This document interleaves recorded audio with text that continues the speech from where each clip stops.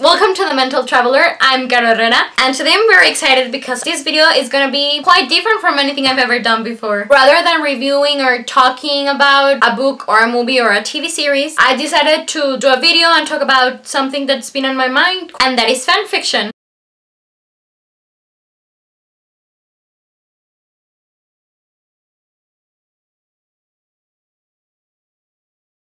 What is it? How long has it been around? What are my thoughts on it? Do I recommend it? What's my history with it? I'm not sure if the booktube community supports fanfiction or not, but I'm still gonna go ahead and do this. I know that some modern day authors are not very fond of fanfiction, but I wanna believe that if I ever become a writer, I wouldn't mind it if other people wrote stories with my characters. For example, George R. R. Martin, the author of the A Song of Ice and Fire books, he doesn't approve of fanfiction. He thinks it's a copyright infringement and a bad exercise for aspiring writers. Before I begin talking about fanfiction, I just want to say that I did some research for this, but I'm not saying that anything I'll mention it's 100% accurate because I'm not an expert on the subject. I'm just here to talk about it and share my thoughts and opinions. And before I tell you what fanfiction is, I just want to mention two things. Is going to be a video without spoilers, and I also want to dedicate this to one of my best friends, Fernanda, because her birthday was yesterday. So, muchísimas felicidades de nuevo. Espero que te la hayas pasado increíble. Gracias por siempre estar apoyándome sobre mis dilemas, sobre qué puedo hablar y qué no en estos videos. Eres la mejor. So, what is fanfiction?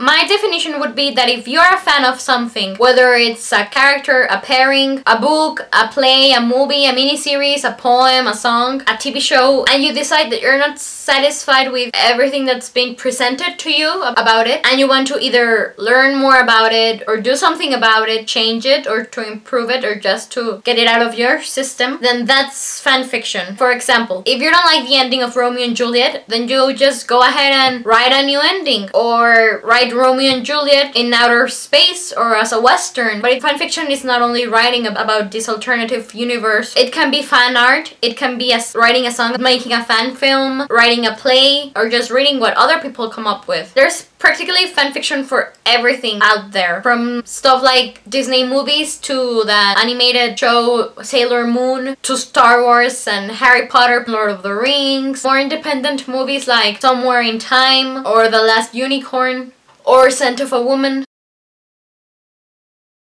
The exact date isn't known. It's not like somebody declared this is the beginning of fanfiction. But I guess that since the first story in the world was created, there's been fan fiction, even if it's not the exact form it's taken up today. Because every culture has its own legends and stories, and as they pass on through generations, it's not gonna be the same story. It has to have some alterations. So that could be fan fiction. But the fan fiction that I'm referring to specifically apparently came out around the 60s with the whole Star Trek movement and it intensified with Harry Potter. But I read that there was even fan fiction, for example, for Don Quixote by by Miguel de Cervantes. Before it was published, there was this unauthorized version of it.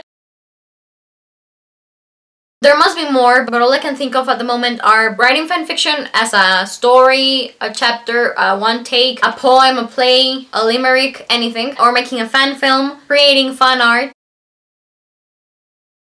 I've been reading fanfiction for as long as I can remember and I was trying to figure it out how it all started, how I discovered fanfiction and I think I can date it back to the time when I was a child. Growing up, I always liked these sort of weird couples in movies. For example, Jasmine and Jafar from Aladdin or Rothbart and Odette from The Swan Princess or Frollo and Esmeralda from The Hunchback of Notre Dame. And I usually kept it to myself because it was weird. It went against popular opinion and the ending of the story. But then then one day I decided to look one of those couples up in the internet and I found out to my pleasant surprise that I wasn't the only fan shipping these characters together. There were hundreds of fanfictions for them and that's how I became invested in reading fanfiction and if I like a movie or a TV show or a book I tend to sometimes go look for stories in the fanfiction world but only with two fandoms have I read one fanfiction that has captured my imagination and my heart so much that I will never read any more fanfiction about them again because the story was just so perfect and so in canon that I just can't think about anything to top it off aside from the original source. And these fandoms that I'm talking about are Anakin and Padme from Star Wars, Severus Snape and Lily Evans from Harry Potter,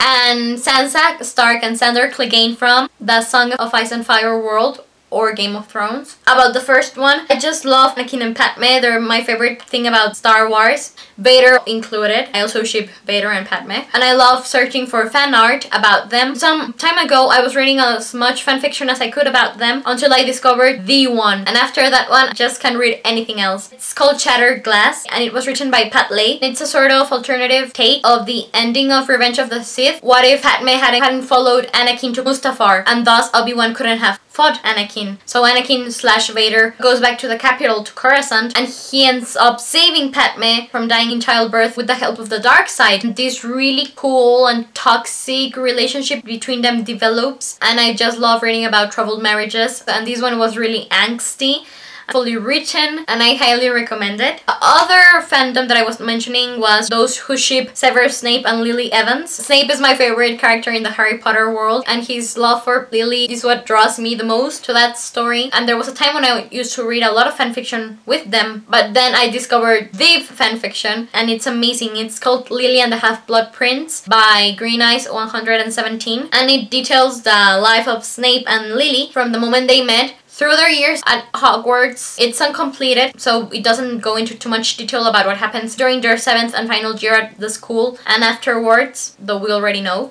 But it's so amazing that I even prefer it to the Harry Potter books. And every time that I'm gonna read them, as a law, I have to read Lily and the Half-Blood Prince before. And I also want to mention that there's this really cool fan-made film called Snape and the Marauders, and it was really well done, and it's online for free, so you can also check it out. The link will be in the description box below. But I guess that my favorite fandom of all times would be the SanSan fandom. Those people who ship together. Sansa Stark and Sandor Clegane from A Song of Ice and Fire and Game of Thrones. Why is it my favorite? Because it's the only one where I've been really active. I've been in it for about five years. There was a time when I swear I read every single fanfiction that came out about these two and I just loved them together. I even wrote a fanfiction for them and even made a fan video about it. I've also written a one-shot for Becoming Jane, the movie, with Anne Hathaway and James McAvoy. So in the end, I guess that I love fanfiction with a sort of biased opinion because I am involved in it. But I just find it really fulfilling when you are left with this void after reading the original material and then you find this amazing story or fan art and can sort of put a proper closure on the story. For example, I always wondered what would have happened had Padme and Vader lived together and I've discovered the fanfic that I mentioned and now I can let go of that intriguing idea and I think it's really cool to see what other options the characters that you love and read about could have had if just circumstances had been different for them. I'm going to put links in the description box below for the fanfictions that I mentioned about Anakin and Padme and Snape and Lily as well as the official page for the fan-made video of Snape and the Marauders. I hope you guys enjoyed my video where I discuss fanfiction. If you have anything to say about it, please don't hesitate to do so in the comment section below. I shall be eagerly awaiting your opinions. Thank you very much for watching and I'll be seeing you next time. I'm Gato, the Mental Traveler. Goodbye!